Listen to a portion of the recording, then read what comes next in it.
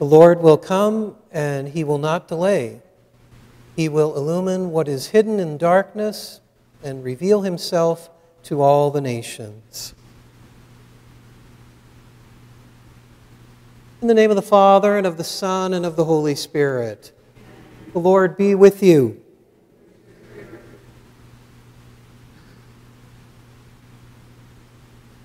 Brothers and sisters, let us acknowledge our sins and so prepare ourselves to celebrate the sacred mysteries.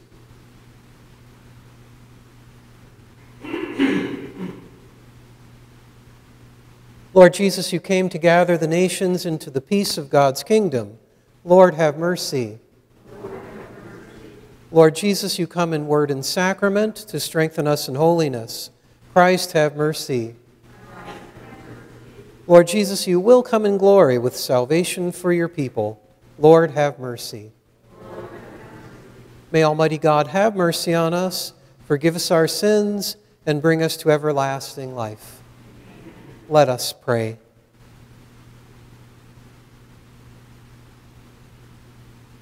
Grant, we, we pray, Almighty God, that the coming solemnity of your Son may bestow healing upon us in this present life and bring us the rewards of life eternal. Through our Lord Jesus Christ, your Son, who lives and reigns with you in the unity of the Holy Spirit, one God forever and ever.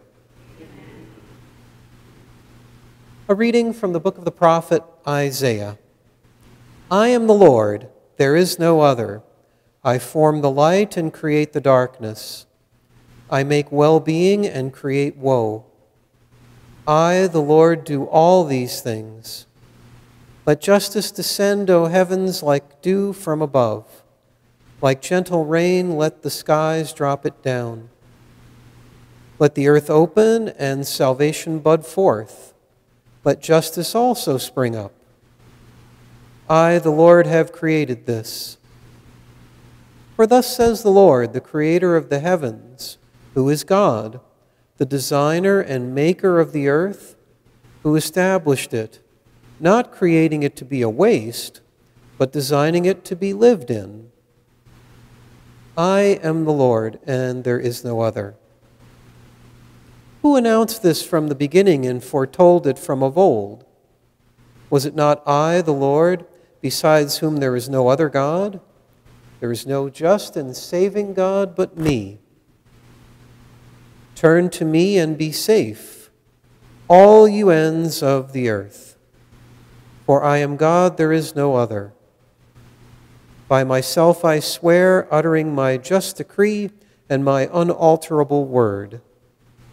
To me every knee shall bend, by me every tongue shall swear saying, Only in the Lord are just deeds and power. Before him in shame shall come all who vent their anger against him. In the Lord shall be the vindication and the glory of all the descendants of Israel. The word of the Lord. Let the clouds rain down the just one, and the earth bring forth a Savior.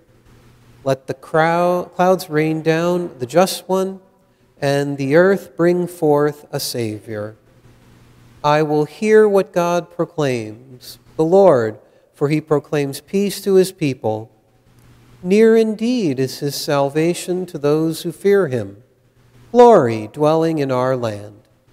Let the clouds rain down the just one, and the earth bring forth a Savior. Kindness and truth shall meet, justice and peace shall kiss. Truth shall spring out of the earth, and justice shall look down from heaven. Let the clouds rain down the just one, and the earth bring forth a Savior. The Lord himself will give his benefits. Our land shall yield its increase. Justice shall walk before him, and salvation along the way of his steps. Let the clouds rain down the just one, and the earth bring forth a Savior.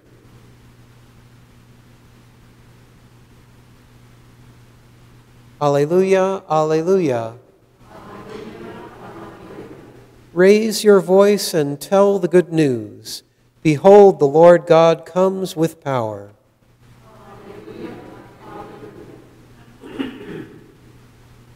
The Lord be with you. A reading from the Holy Gospel according to Luke.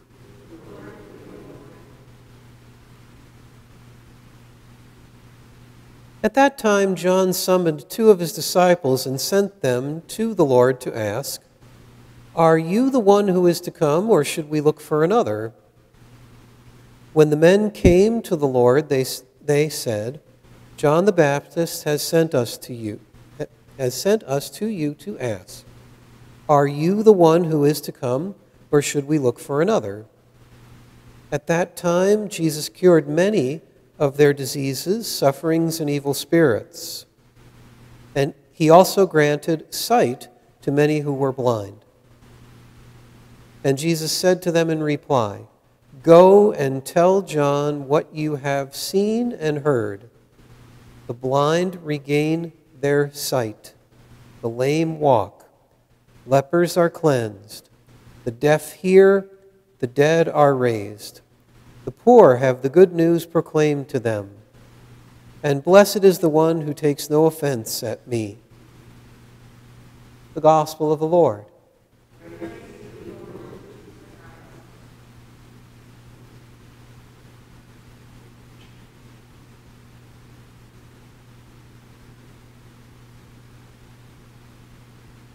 It's always curious the way that Jesus answers a question. So many times he does not answer the question directly. This happens probably more frequently in the Gospel of John. People ask him things and he uses that as a teachable moment and moves them on, usually from thinking about just mundane, earthly, material things, moving on to spiritual things. And in the Gospel of Luke today, we see kind of a similar thing happening. What's going on here is that uh, John the Baptist is unsure. So here he is in prison at this time, probably, and he is um, questioning uh, really, maybe he's reflecting on himself and wondering was all the work I did, uh, did it do any good or not? Did I do a good job of preparing the way for the Messiah? Is even this person that's coming uh, the Messiah? Is, is Jesus even the Messiah? He comes to question even that. And we can't really blame him for questioning that, being in a state of such distress. It's not surprising that he would second guess himself at this point. But again, Jesus uses this as a teachable moment, as something that can, be, that can mean more than just directly answering the question, saying, Yes, I'm the Messiah. He, he does this by looking at the things that Jesus has done. He asks him to, re, to observe those things, to remember those things about the blind, about the lame, about lepers, about the deaf, about the dead who are raised. The poor have the good news preached to them. John should be able to look at all of those things and know, in, through knowing his scriptures, realize that these are all signs of the Messiah. All of these point to that. And this, in a way, even is a stronger case than just Jesus saying, Yes, I'm the Messiah. He's really saying, Well, look at what I do, and then you'll be able to tell who I am. Interesting thing. I would not uh, uh, question a philosopher on that on that very same thing. This sort of being and doing is always a difficult thing, always a difficult thing for philosophers. So we won't get into that part of it. But what I will say is that Jesus represents the Messiah in what he does. He is the Messiah because of what he is doing. And so they have cause for rejoicing. Should rejoice at this. John should recognize um, that the Messiah has come he fades into the background now, that is John the Baptist, and uh, his role is complete. And he can rest in that, realizing that he has done what he was supposed to do. He was done as he, as he was commanded.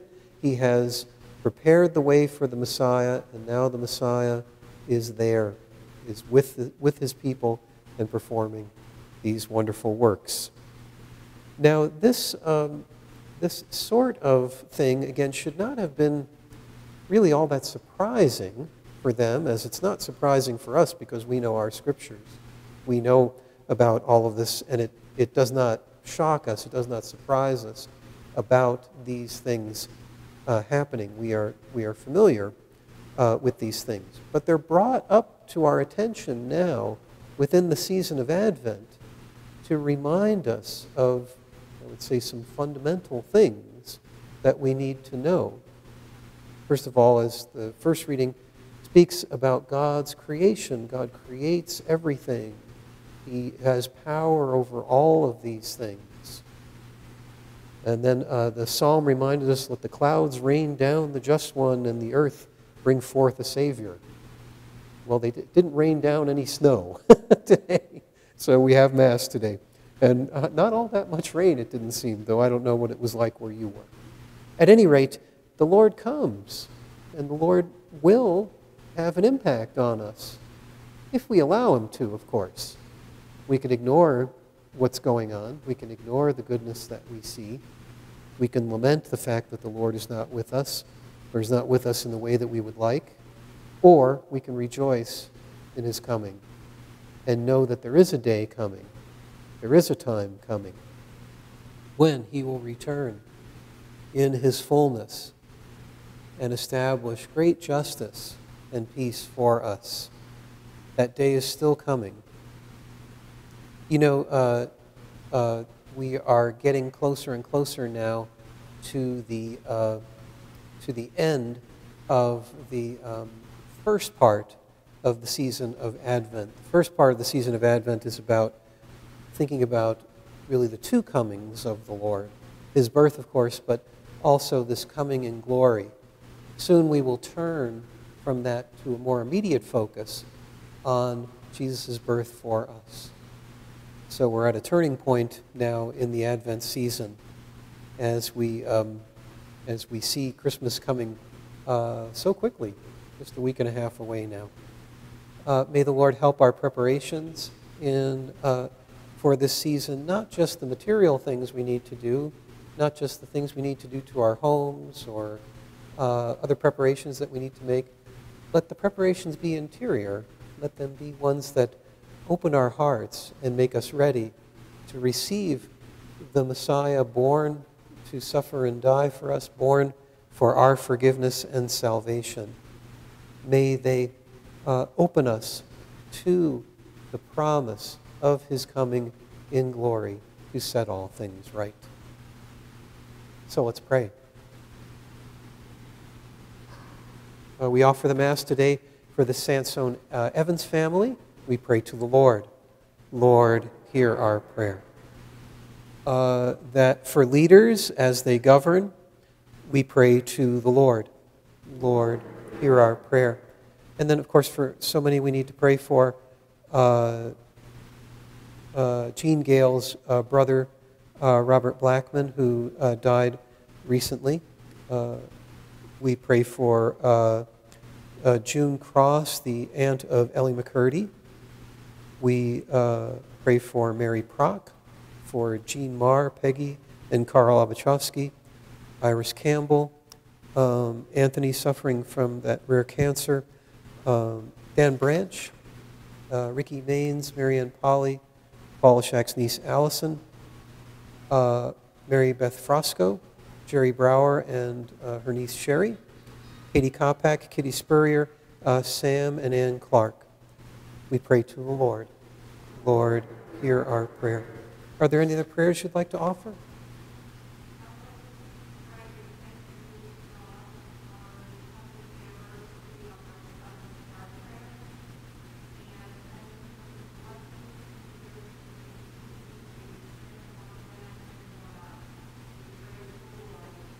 Lord, hear our prayer.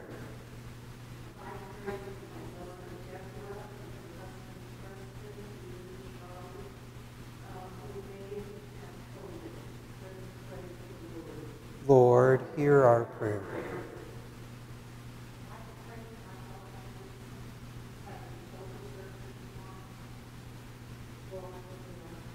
Lord, hear our prayer.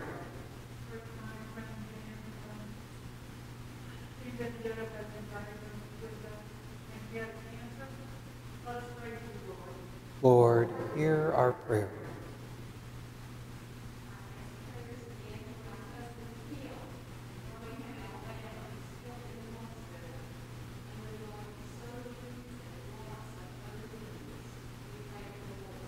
Lord, hear our prayer.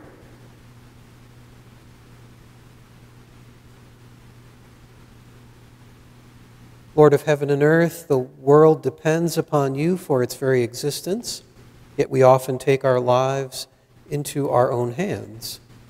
When we forget you, draw our eyes and hearts back to your Son, the perfect revelation of your eternal and all powerful love. Through Christ our Lord.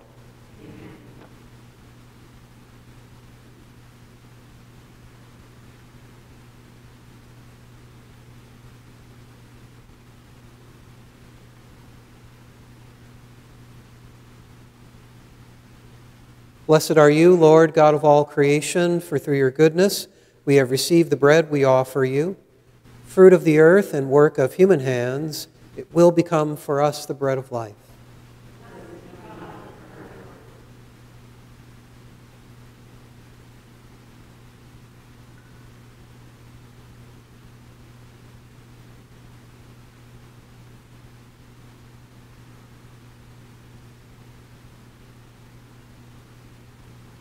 Blessed are you, Lord, God of all creation, for through your goodness we have received the wine we offer you, fruit of the vine and work of human hands.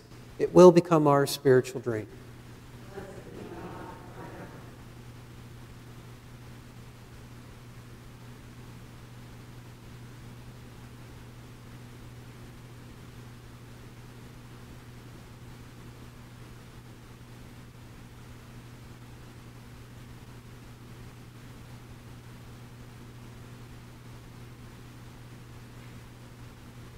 Pray, brothers and sisters, that my sacrifice and yours may be acceptable to God, the Almighty Father.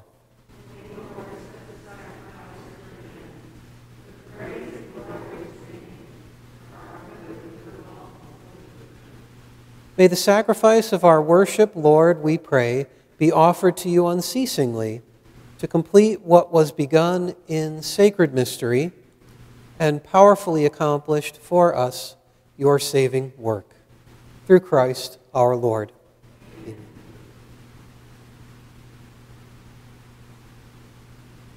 The Lord be with you. Lift up your hearts. Let us give thanks to the Lord our God. It is truly right and just, our duty and our salvation, always and everywhere to give you thanks. Lord, Holy Father, Almighty and Eternal God, through Christ our Lord for he assumed at his first coming the lowliness of human flesh, and so fulfilled the design you formed long ago, and opened for us the way to eternal salvation, that when he comes again in glory and majesty, and all is at last made manifest, we who watch for that day may inherit the great promise in which now we dare to hope. And so, with angels and archangels, with thrones and dominions, and with all the hosts and powers of heaven, we sing the hymn of your glory, as without end we acclaim. Holy, holy, holy, Lord God of hosts, heaven and earth are full of your glory. Hosanna in the highest. Blessed is he who comes in the name of the Lord. Hosanna in the highest. You are indeed holy, O Lord, the fount of all holiness. Make holy, therefore, these gifts, we pray, by sending down your Spirit upon them like the dewfall, so that they may become for us the body and blood of our Lord Jesus Christ. At the time he was betrayed and entered willingly into his passion, he took bread and, giving thanks, broke it and gave it to his disciples, saying, Take this, all of you, and eat of it, for this is my body, which will be given up for you.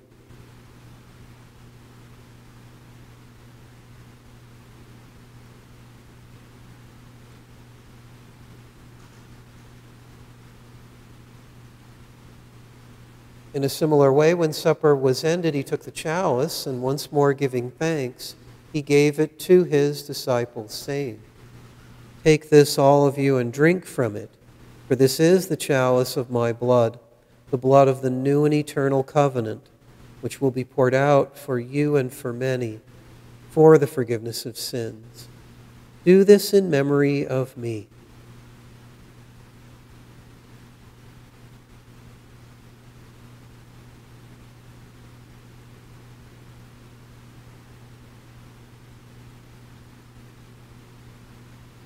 Mystery of faith. When we eat this bread and drink this cup, we proclaim your death, O Lord, until you come again. Therefore, as we celebrate the memorial of his death and resurrection, we offer you, Lord, the bread of life and the chalice of salvation, giving thanks that you have held us worthy to be in your presence and minister to you. Humbly we pray that partaking of the body and blood of Christ, we may be gathered into one by the Holy Spirit. Remember, Lord, your church spread throughout the world, and bring her to the fullness of charity, together with Francis our Pope and Peter our Bishop, and all the clergy. Remember also our brothers and sisters who have fallen asleep in the hope of the resurrection, and all who have died in your mercy Welcome them into the light of your face.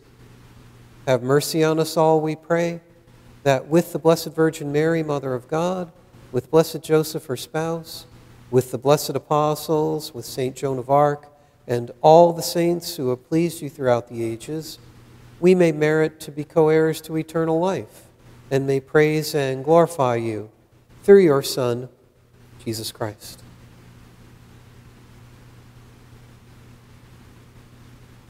Through him, and with him and in him. O God, Almighty Father, in the unity of the Holy Spirit, all glory and honor is yours forever and ever. At the Savior's command and formed by divine teaching, we dare to say, Our Father, who art in heaven, hallowed be thy name. Thy kingdom come, thy will be done on earth as it is in heaven. Give us this day our daily bread, and forgive us our trespasses, as we forgive those who trespass against us.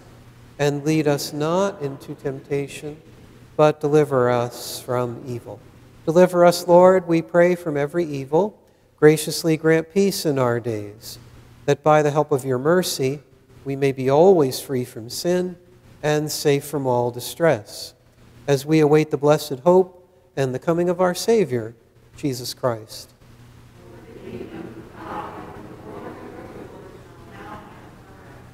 Lord Jesus Christ, who said to your apostles, Peace I leave you, my peace I give you, look not on our sins, but on the faith of your church, and graciously grant her peace and unity in accordance with your will, who live and reign forever and ever.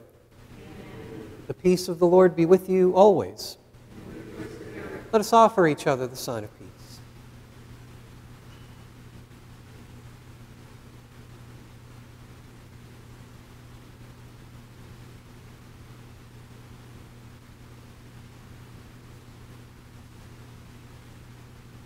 Lamb of God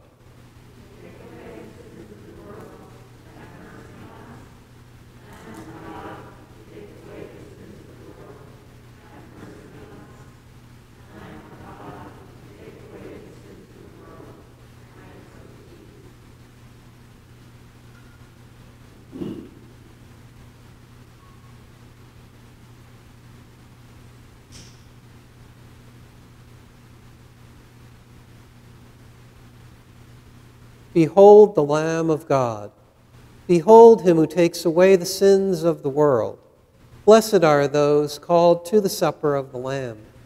Lord, I am not worthy that you should enter under my roof, but only say the word, and my soul shall be healed.